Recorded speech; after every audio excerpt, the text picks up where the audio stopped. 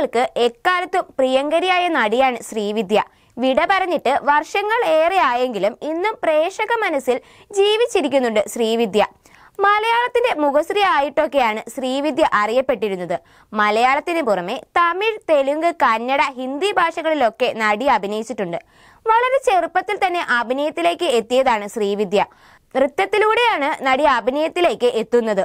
പതിമൂന്നാം വയസ്സിൽ തമിഴ് സിനിമയിലൂടെയായിരുന്നു ശ്രീവിദ്യയുടെ അരങ്ങേറ്റം. പിന്നീട് സത്യൻ നായകനായ ചട്ടമ്പിക്കവല എന്ന ചിത്രത്തിലൂടെ നായികാ നടിയുമായി. പിന്നീട് ശ്രീവിദ്യ മലയാള സിനിമയുടെ തന്നെ മുഖമായി മാറുകയായിരുന്നു. അതേസമയം വ്യക്തിജീവിതത്തിലെ പല സംഭവങ്ങൾ കൊണ്ടും വാർത്തകളിൽ നിറഞ്ഞു നിന്നിരുന്ന നടി കൂടിയായിരുന്നു ശ്രീവിദ്യ.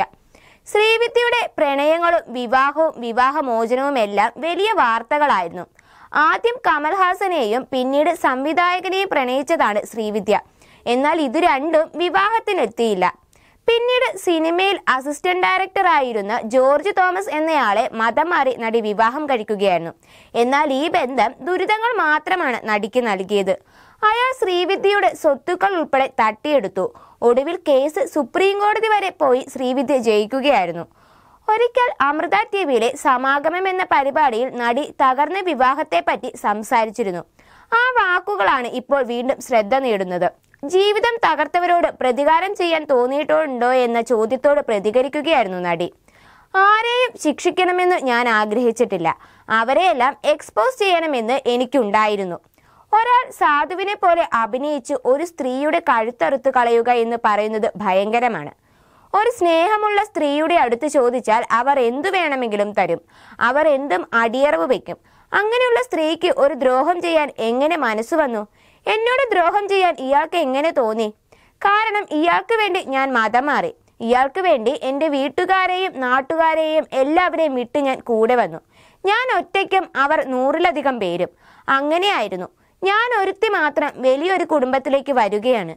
എന്നെ ദ്രോഹിക്കേണ്ട കാര്യമില്ല. എന്നോട് ചോദിച്ചിരുന്നെങ്കിൽ ഞാൻ എടുത്തു കൊടുത്തേനെ എന്നും ശ്രീവിദ്യ പറയുന്നുണ്ട്. ഒരു ഘട്ടത്തിൽ എല്ലാ പെൺകുട്ടികളും ഇതുപോലെ എന്തിലെങ്കിലും പോയി ചാടും. അതിപ്പോൾ പ്രണയബന്ധമാവട്ടെ കല്യാണമാവട്ടെ. എന്നെ കല്യാണം കഴിക്കേണ്ട ആൾ മറ്റൊരാളെ കല്യാണം കഴിച്ചപ്പോൾ എനിക്ക് ദേഷ്യമായി. പേര് പറയാൻ ഞാൻ ആഗ്രഹിക്കുന്നില്ല. അയാൾക്ക് കല്യാണം കഴിക്കാമെങ്കിൽ എനിക്ക് കഴിക്കണ്ടേ എന്നായിരുന്നു എന്റെ ചിന്ത.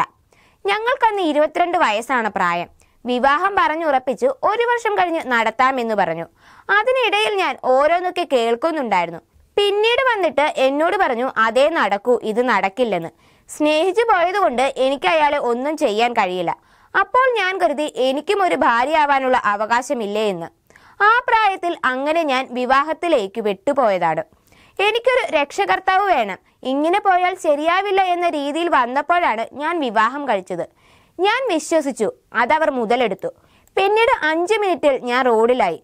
പിന്നെ ഞാൻ സഹോദരന്റെ അടുത്ത് പോയി നിന്നു. അതിനിടയിൽ ദൈവമായിട്ട് എനിക്ക് രണ്ട് മൂന്ന് സിനിമകൾ തന്നു. അതോടെ ഒരു വീടിന് അഡ്വാൻസ് കൊടുക്കാനുള്ള പൈസയൊക്കെ എനിക്കായി. അതാണ് ദൈവമെന്നും ശ്രീവിദ്യ പറയുന്നു. ജീവിതത്തിലെ നല്ല സമയം ഈ വിവാഹത്തിന് മുൻപാണ്. ഏറ്റവും നല്ല സമയം ഒരു പെൺകുട്ടി ആയിരുന്നപ്പോഴാണ്. എനിക്ക് ഡാൻസും പാട്ടുമൊക്കെ എപ്പോഴും ഉണ്ടായിരുന്നു. ഞാൻ മദ്രാസിലെ ഏറ്റവും കൂടുതൽ പ്രതിഫലം വാങ്ങുന്ന ഭരതനാട്യ ഡാൻസറായിരുന്നുവെന്നും ശ്രീവിദ്യ പറയുന്നുണ്ട്.